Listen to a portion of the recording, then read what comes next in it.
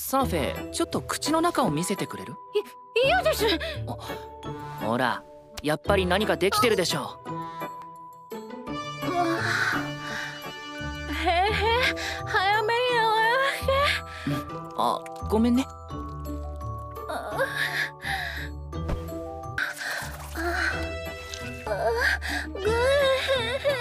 口内炎には効くよ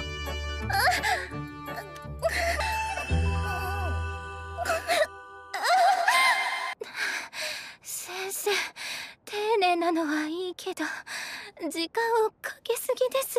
ごめん。それと顔が近くて恥ずかしかったです